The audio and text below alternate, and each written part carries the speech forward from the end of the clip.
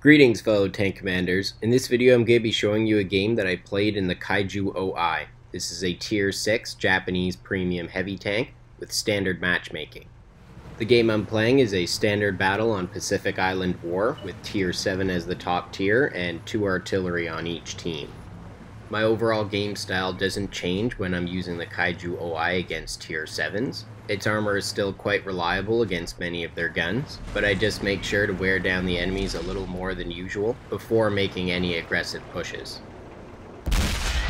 I've switched over to my premium AP rounds at this point. In most situations against tier 7 tanks, you don't need the premium rounds. However, if you can afford it, it's a good idea because it just increases your reliability. And since I always try to be at the front of the line with the Kaiju OI, I don't want to be generous to the enemy and take any damage without returning the favor. And the Kaiju OI has such good silver earning potential that even using premium consumables and premium ammunition, I'm unlikely to lose money in any game. Now, dueling fellow OI style tanks I always find an interesting challenge. And here I'm trying to angle my front armor a little bit because the flat areas of the armor aren't thick enough on this tank to bounce shells from the incredibly reliable 10 centimeter cannon. But sadly, it always overexposes your side armor, which is extremely weak, and an experienced player like the Kaiju OI I was facing will take advantage of that. You can hide this weakness though by angling around cover. Now this Tiger 1 I'm fighting, he manages to just go straight through the front of my armor, so I'm continuing to take that risk and trying to bait his shots into the angled front armor. At this point I'm regretting moving this far forward so soon, because with that Tiger's incredible 8.8 centimeter cannon, an extremely high rate of fire, he would easily be able to outshoot me. Fortunately, he's now having a little bit of trouble penetrating my armor, and is distracted by my supporting teammate. And here I'm gonna get a chance to finish him off, but look at this shot, bounces right off his top hull. That's an unlikely sight with premium AP rounds, but it caught his armor in just the wrong way. Now I'm in quite a bad situation here because I only have 89 hit points left. There are still two enemy artillery which could easily splash me to death, and the enemy currently has a 3 tank lead over us.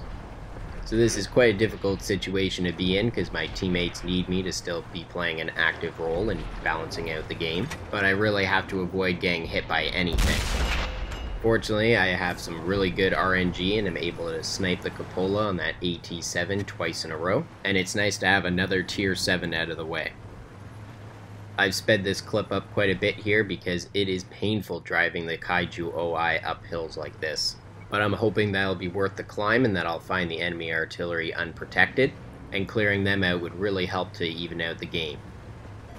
But turns out they have an almost full health Tiger P back here, Considering how many hit points I currently have, I'm not too happy about this situation. During my long climb up this hill, my team has been performing very well and has taken the advantage in this game. And so when I see the Tiger P shoot, I decide to take the risk.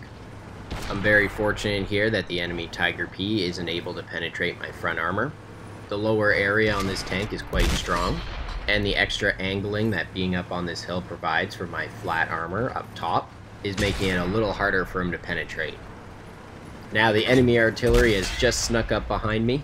If I turn to try to deal with him, the Tiger P will surely be able to destroy me. So I'm taking the risk and charging the Tiger P.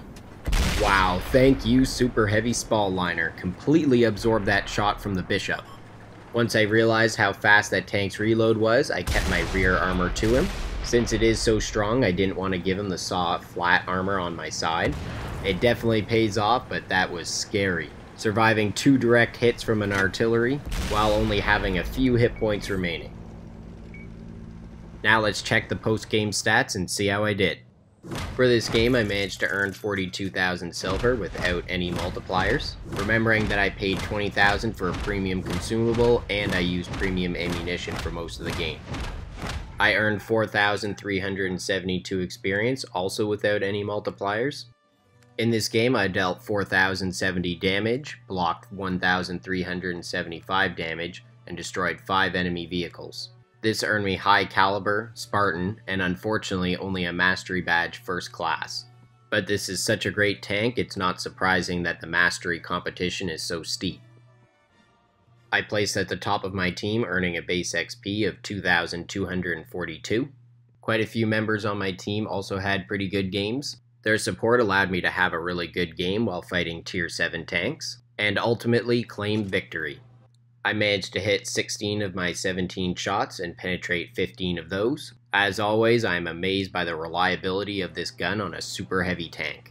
In terms of crew and module damage this game, I destroyed the engine in the Tiger P, damaged the ammunition in the Kaiju OI, and damaged the engine in the Tiger 1. Well that's all for this video. I hope you enjoyed seeing another great game with the Kaiju OI. Just remember that even as a higher tier, you should never underestimate this monstrous super heavy tank. Stay tuned for more awesome World of Tanks videos.